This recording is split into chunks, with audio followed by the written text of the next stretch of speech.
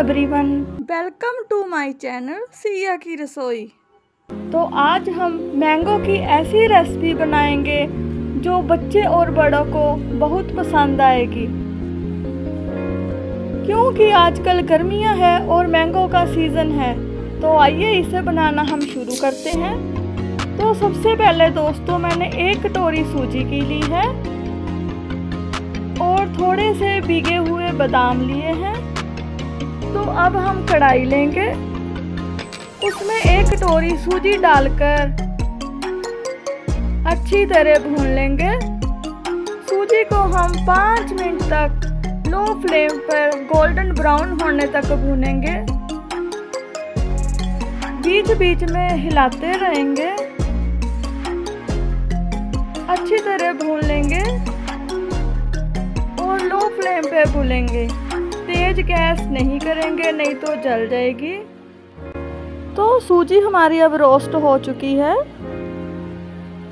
ऐसे ही सूजी को भूनना है तो इसमें मैं आधी कटोरी देसी घी की डालूँगी। घी आप कोई भी ले सकते हैं, अपने हिसाब से मैं इसमें देसी घी डाल रही हूँ। और इसको अच्छी तरह मिक्स कर लेंगे, अच्छी तरह हिलाते रहेंगे, ताकि जल ना जाए। ऐसे ही हिलाते रहेंगे, अच्छी तरह मिक्स कर लेंगे। गैस को हम लो फ्लेम में ही रखेंगे।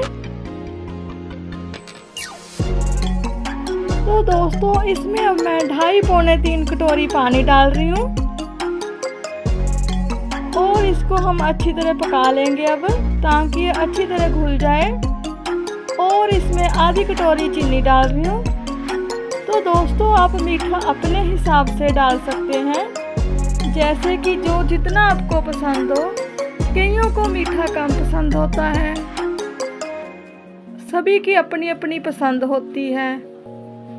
तो मीठा आप अपने हिसाब से ही डालें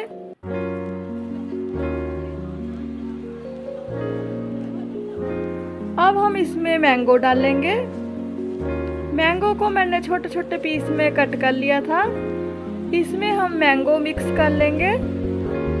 मैंगो डालने से बहुत अच्छा फ्लेवर आता है और थोड़ा सा इसमें मैंगो सेंस डालेंगे अगर आपके पास है तो डाल लेना, अगर नहीं है तो कोई बात नहीं। मैंगो से भी बहुत अच्छा टेस्ट आता है। दोस्तों, आप एक बार ज़रूर ट्राई करना, बच्चों को बहुत पसंद आएगी ऐसी रेसिपी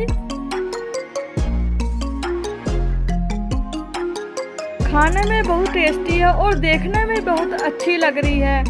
कुछ अलग तरह की डिश लग रही है।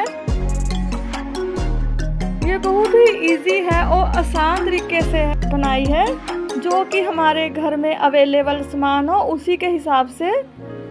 तो इसको हम कटोरी में डाल के, बादाम के साथ और मैंगो के साथ डेकोरेट कर लेंगे। इसको चाहे आप गर्म खाएँ, चाहे आप इसको ठंडा करके खाएँ। ये खाने में बहुत टेस्टी है। आप इसे एक बार ज़रूर ट्राई करना। आई होप आपको मेरी ये रेसिपी अच्छी लगी हो। तो इसे लाइक एंड शेयर करें और हमारे चैनल को सब्सक्राइब करें।